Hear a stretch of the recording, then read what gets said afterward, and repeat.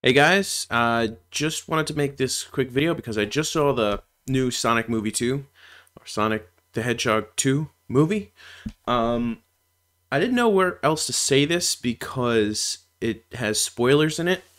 Um, so I didn't want to make a tweet on Twitter or start a conversation anywhere discussing spoilers, but I noticed something that could potentially be a plot hole. Now, I don't know if it's a big or a small plot hole, um, so spoilers in this video, and I'm gonna put it in the the name of the title of the video. But so if you've read the prequel comic by IDW, uh, I don't know if all those stories are canon or not. There was one story in particular that I realized contradicts something in the movie.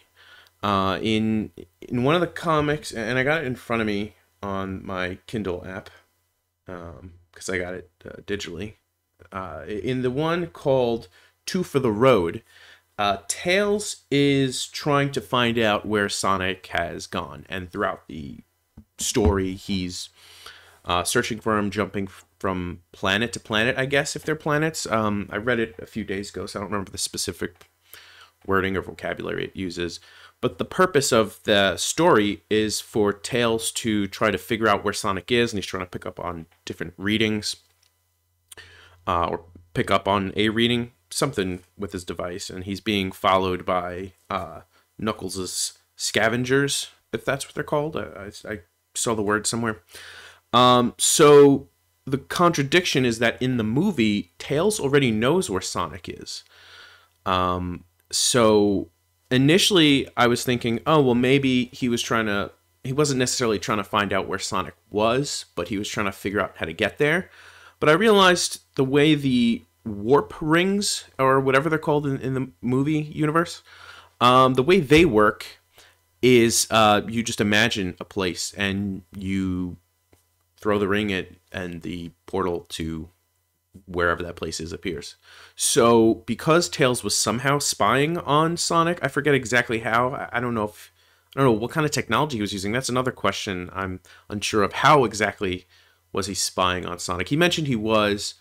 I don't have the ability to go back and see it because I just came back from the movie theater a little while ago. It's not like I can go back to the movies and say, "Hey, can you let me watch that one part again?"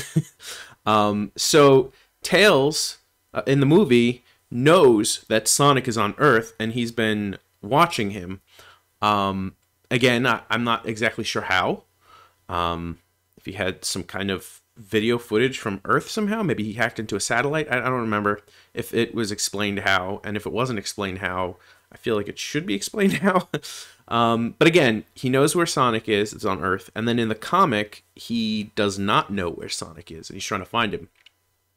So either there's a big plot hole, or the comic, or the the official prequel comic, or that story in particular is non-canon. So I don't know. Um, a, a lot of what the comic did do was introduce stuff for the film, like uh, Knuckles, how he met those scavengers, which were the people with the mask on that wind up finding Robotnik on the Mushroom Planet.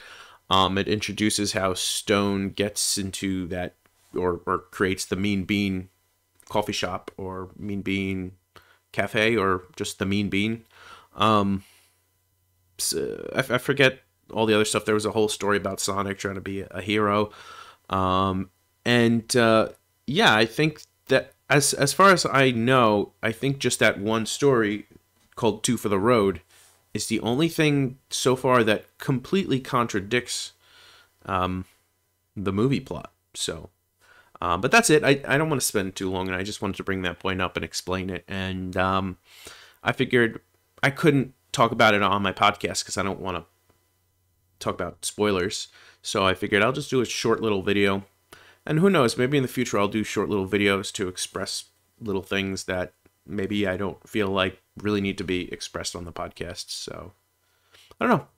Let me know what you guys think about the potential plot hole. Um, and yeah, could chat away in the comments below, or I don't know what to tell you.